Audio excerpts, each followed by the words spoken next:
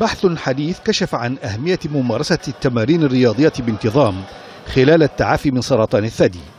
الدراسة التي أجراها مركز ساني بروك للعلوم الصحية في تورنتو بكندا وجدت أن النشاط البدني المنتظم يمكن أن يخفض خطر الوفاة نتيجة الإصابة بسرطان الثدي بنسبة 40% مقارنة مع النساء اللاتي لا يمارسنه كما أن التعديلات على نمط الحياة اليومي قد يكون لها تأثير على تجدد الإصابة بسرطان الثدي وكذلك التعافي منه بعد الإصابة.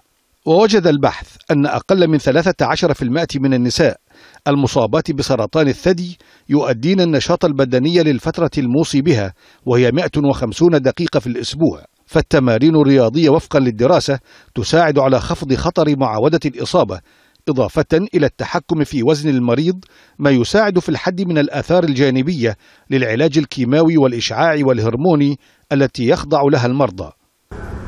وخلص البحث إلى أن زيادة الوزن أثناء أو عقب العلاج من سرطان الثدي تنطوي على خطورة كبيرة إذ تزيد فرص عودة الإصابة بالمرض وتتقلص معدلات البقاء على قيد الحياة.